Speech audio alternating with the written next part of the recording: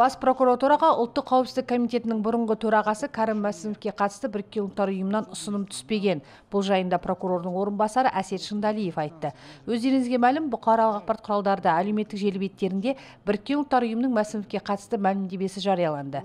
Біріккен ұлттар ұйымының себепсіз қамаулар бойынша жұмыс тобы қазақстанның ұлттық қауіпсіздік комитетінің экс төрағасы кәрім мәсімов негізсіз қамауда отырғанын мәлімдегенді. Онда қазақ үкіметінің кәрім мәсімовтің негізсіз қамауда отырғанына байланысты істерді тәуелсіз тергеушілердің жүргізуін қамтамасыз етуге және оның құқықтарының бұзылуына жауапты адамдарды тиісті шаралар қабылдауға шақырамыз делінген. Желілерден көрдім ондай хабар бар екенін бірақ ондай рабочий рекомендацияларын әлі көрген жоқпын.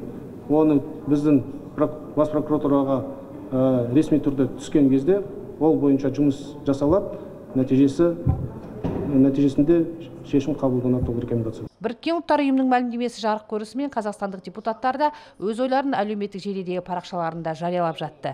Мысалы мәжілісмен ерлан сайыров кәрім мәсімовтің тағдырына біріккен ұлттар ұйымының алаңдаушылық білдіріп кінәсіз деп отыр деп жариялапты. Біріккен ұлттар ұйымы қандай да бір мемлекеттің ішкі ісіне араласуы мемлекеттің құқық қорғау органдарына нұсқау беруі халықаралық практикада нонсенс. Бұл факті қазақстан жұртшылығының көзінде біріккен ұлттар ұйымының беделін көтермейтіндігі факті деп жазады. Ал әділет министрі қаралы қаңтар оқиғасына қатысты қамауға алынып тергеліп жатқан кәрім мәсімовке қатысты еш заң бұзылмағанын айтады.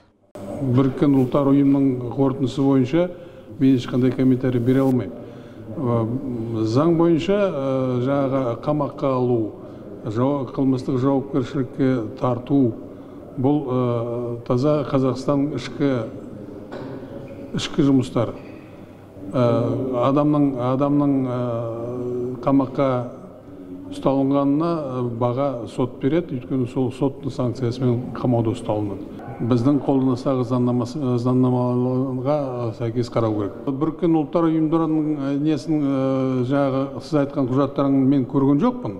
Еске сала кетейік мемлекетке опасыздық жасады деп айыпталып жатқан ұлттық қауіпсіздік комитетінің экс төрағасы кәрім мәсімов пен оның орынбасарларын қамауда ұстау мерзімі тағы да ұзартылды.